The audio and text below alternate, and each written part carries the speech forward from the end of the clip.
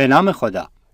جلسه اول مبحث شناخت فعل. برای اینکه ما بدونیم فعل ها کدوم کلمات هستن و بعد بتونیم به تجزیه و تحلیلش برسیم چند نکته رو باید مد نظر قرار بدیم اول ما کلمات رو می‌خوایم بررسی بکنیم ببینیم کدوم ها فعل هستن و بعد برسیم به زمانهای مختلفش.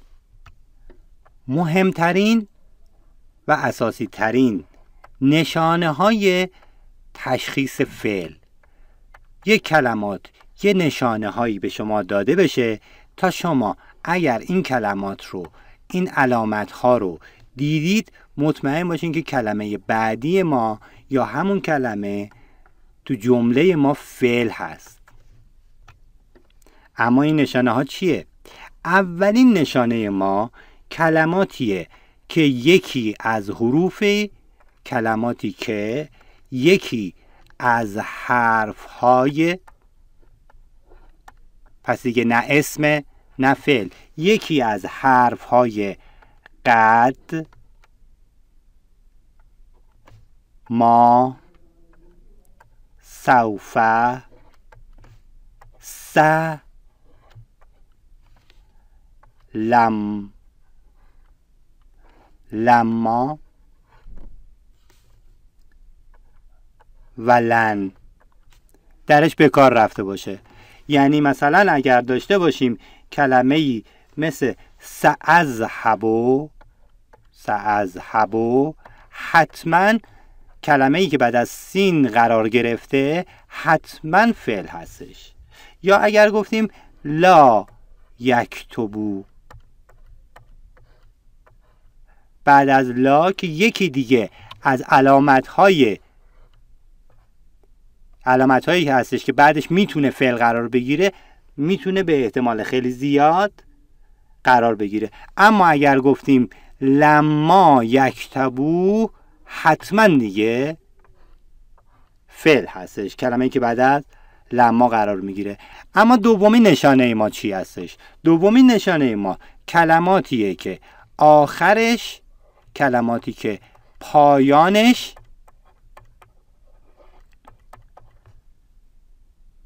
تاء زمیره تاء زمیر تیه که کشیده است.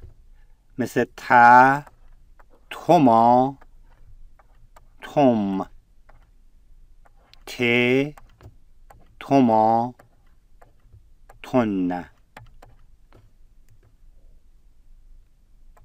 تو. این کلمات باعث میشن که ما بدونیم که کلمه ای که قرار گرفته در اینجا قرار گرفته بود قبلش حتما فعل هستش. مثل کلمه علمتو. یا کلمه مثل استخرجتن. ببینید دیگه اصلا ما دقت نمی کنیم که چند تا کلمه قبل از این بوده. یا به خاطر تعداد حروفش نگران باشیم که این آیا اسم یا فعل. ما وقتی تنه رو دیدیم که به یک کلمه دیگه ای چسبیده مطمئنا فعل هستش. کلمه مثل خرج توما ببینید از ثلاثی مجرد مزید که شما بلد هستین همه جوره داریم مثال می‌زنیم که برای شما روشن و واضح بشه.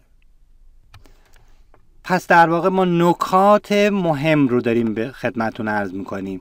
نکات مهمی که برای شناخت فعلمون وجود داره. تا حالا با دو تا قسمش آشنا شدین. سومیش کلمه ایه که آخرش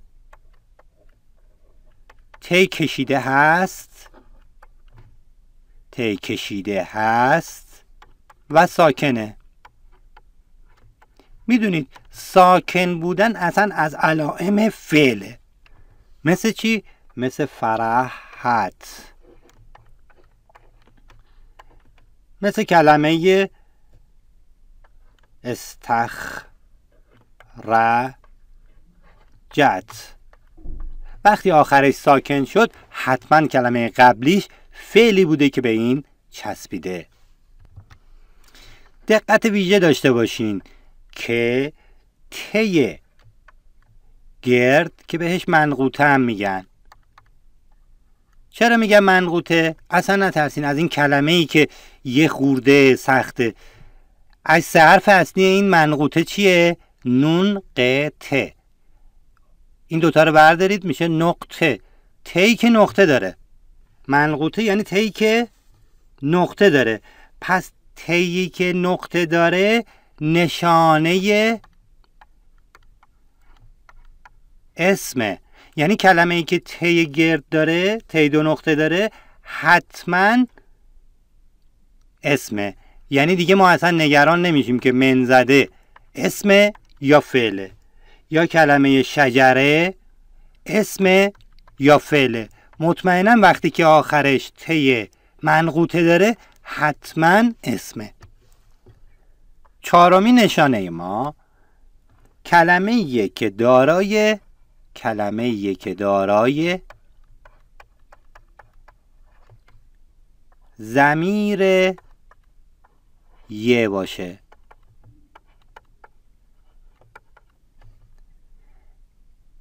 زمیر یه رو نگفتیم انتهاش باشه ها. زمیر یه داشته باشه.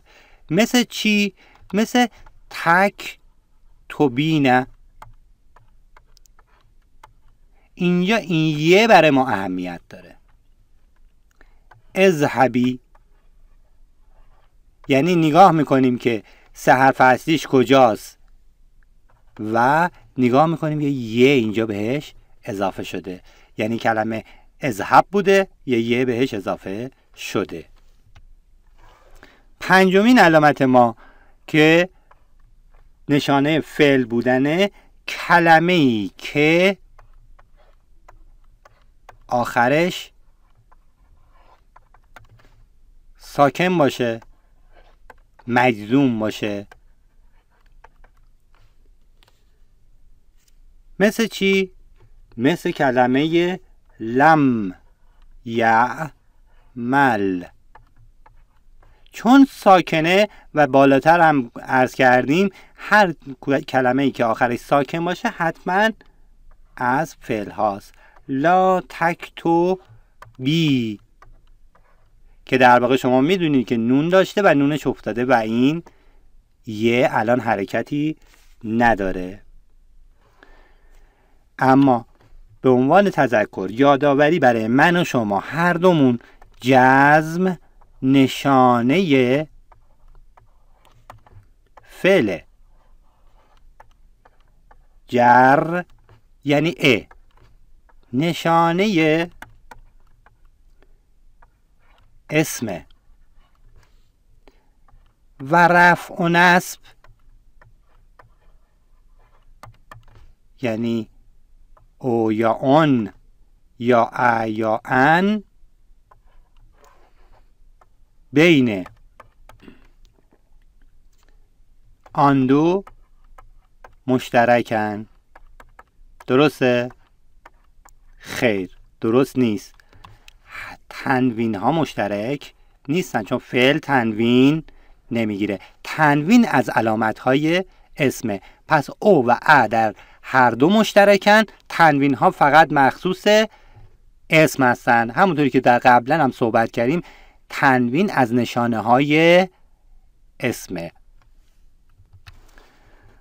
خب هنوز تو نکات مهمیم. نکات مهم فعل. نشان نکات مهم فعل یعنی نشانه هاش در واقع ما نشانه ها هم اضافه کنیم که اشتباه نکنیم. خب اما نکته بعدی که برای ما اهمیت باید داشته باشه و ما رو به فعل برسونه شیشمیش هست و اون کلمه ایه که آخرش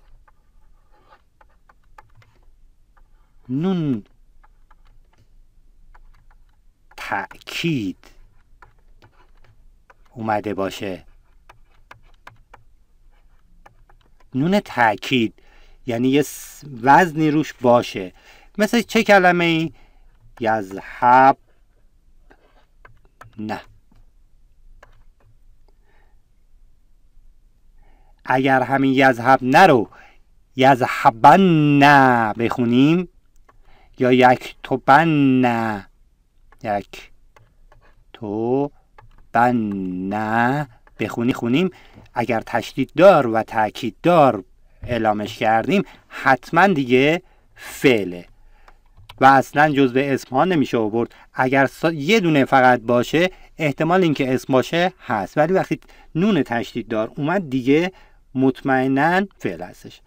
اما یکی از موارد مهمی که ما هاش تو امتحانات و مخصوصا کنکور طرف هستیم و شاید ما رو به اشتباه بندازه سیغه های افعاله. سیغه های فعل. سیغه های فعل. تقریبا همشون باید حفظ بشه. یعنی بدون اونها شاید کار ما یه خورده سخت باشه. به خاطر اینکه راحت بشیم میایم دسته بندیش می‌کنیم. میگیم یه سری مفردن یه سری مصنا هستن دو نفری هستن. و یه سری جمع هستن یعنی بیش از دو نفر هستن. یا مذکر هستن و یا معنس اگر قائب باشن. و اگر مخاطب باشن باز هم یا مرد هستن یا زن هستن. باز هم می‌تونن مفرد، مصنا و جمع باشن. خواهش می‌کنم دقت بفرمایید. ما لل همیشه در همه اینها لل رو تکرار می‌کنیم. پس من اینجا یادداشت می‌کنم لل همونطوری که بعدا توی نقش ها خواهید خوند ما کلمه ای که به ل اولش بیاد حرف ل بعدیه رو ا میده. پس بنابراین بعد از ل ما می‌خوایم کلماتی که به کار ببریم همین کلمه قائب رو می‌ذاریم. للقا اب اینجا هم دوباره همون قائب رو میاریم اینجا هم قائب رو باز میاریم اینجا هم همینطور. یعنی در قائب ها همش کلمه قائب رو تکرار می‌کنیم.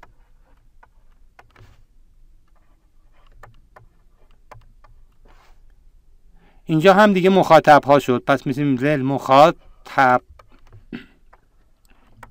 مخاطب مخاطب. اینجا هم مخاطب اینجا هم مخاطب. و اینجا هم مخاطب. این للغائب همیشه. اینجا للغائبین نه این ا برای ما مهمه.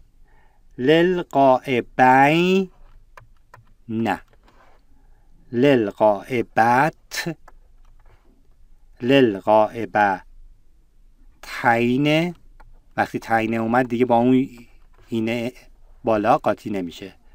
لل قائبات همونطور که تو اسما خوندیم جمع مؤنث با آته هستش. لل مخاطب لل مخا تبینه ببینید همون اینه بالا دوباره اومد. لل مخاطبینه لل مخاطبت لل مخاطبتین لل مخاطبات و اگر متکلم ها رو ما مد نظر قرار بدیم. یعنی بگیم متکلم های ما چه شکلی هستن؟ متکلم های ما یا وحده هستن یا مل غیر. خیلی خوب. اینجا هم میشه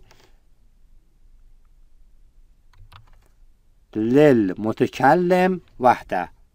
لل متکلم مل غیر. پس بنابراین اگر تو کنکور از ما گفت خواستن که لل غائبتین رو پیدا کنیم تو فعلامون میگردیم. سری اونی که توی صرف ها زیر مصنا معنس قائب پیدا میشه پیدا می‌کنیم. اگر فعلی رو هم دادن به همین کلمه اینه اینه آخرش نگاه کنیم می‌تونیم تشخیص بدیم که مثنا مؤنث قائب هستش.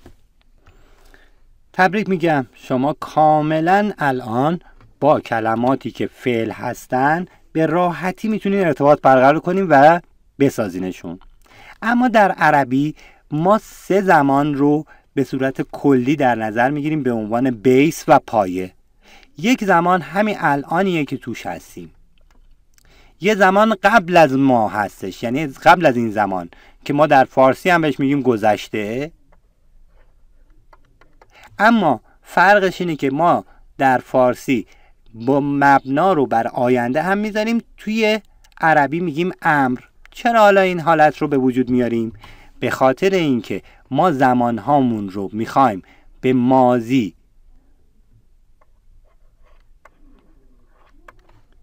مزارع و امر تقسیم کنیم. چرا؟ چون ساخت این ستا باعث میشه که ما از تمام ساخت های دیگه بی نیاز بشیم و راحت بتونیم بقیه رو بسازیم. مازی به عنوان پایه کار قرار می‌گیره مزارع ازش ساخته میشه و همه چیز دیگه بعد از این تو عربی از مزارع ساخته میشه. اعراب بسیار راحت طلب هستن. پس بنابراین با یه ساخته یک فعل و دومی که به وجود میاد بقیه رو عروس می‌سازن و راحت انجام میدن. اما فعل مازی چیه؟ همون زمان گذشته خودمون که در فارسی ما به اون مازی ساده یا مازی مطلق میگیم. در فارسی. مازی ساده یا مطلق در فارسی معادل مازی خالی در عربیه. یعنی اگر ما کلمه رفت رو مازی ساده داریم در عربی بهش میگیم زهبه اما بریم سراغ ساختش یعنی ساخت فعل مازی ما میگیم ساخت فعل مازی رو می‌خوایم بشناسیم. صرف نظر از اینکه چند حرف به ما میدن فعل مازی چجوری راحت بسازیمش؟ پس ساخت فعل مازی رو می‌خوایم توضیح بدیم. ساخت فعل مازی صرف نظر از اینکه چند حرفیه اصلا برای ما مهم نباشه که چند تا حرف ما دادن. اگر سه تا دادن اگر چهار تا دادن اگر پنج تا دادن اصلا برای ما مهم نیست. اون چند تا حرفی رو که میدن ما چجوری بسازیم؟ ما میگیم یه سری کلماتمون غائب هستن از افعالمون یعنی الان حضور ندارن یه سریشون افرادی که هستن داریم صحبت می‌کنیم در رابطهشون روبرومون هستن. و یا من دارم حرف می‌زنم یعنی متکلم هستم یا ما داریم حرف می‌زنیم. متکلم ملغیر با دیگران. وحده یعنی تنها. خب قایبای ما می‌تونن مرد باشن. می‌تونن بله زن باشن. مثل همه کاری که تو عربی الان تا الان انجام دادیم. یا مذکر باشن یا معنس امیدوارم دقت کرده باشیم مطالب قبلی رو در رابطه با مذکر و معنس خوب فرا گرفته باشید. اما بعدش اومدیم گفتیم قایبا یا مذکرن یا مفردن یا مثنا یا جمع. قایبامون هم همینطور. برای اینکه بسازیم هر چند تا حرف این بالا دادن که گفتیم برای ما دیگه اصلا اهمیت نداره. فقط اهمیت زیادی که داره آخرین حرف مازی ما همیشه باید چی داشته باشه؟ ا داشته باشه. خیلی مهمه که این ا حتما در آخرش قرار بگیره. و بعدی کلمه بعدی مثل زربه زره با زره بو. زره بت. زربه تا. زرب نه زرب ت زرب. تما زرب. تم. زرب. ت زرب. تما زرب. نه زرب. تو و زرب. نه. آفرین. همون زمایر متصل فائلی یعنی زمیر متصل فائلی ما با سه حرفی که به ما از فعل دادن ادغام میشه و تشکیل یک فعل ماضی رو میده که سیغش هم مشخصه. یعنی فعل و فائلش با همدیگه اومده. فعلش که همون سه حرف یا چند هر چند تا حرفی که به ما دادن به علاوه این علامت ها فعل و فائل رو برای ما می‌سازه. امیدوارم که از این جلسه درس لذت برده باشین. تا جلسه دوم به خدا میسپارمتون.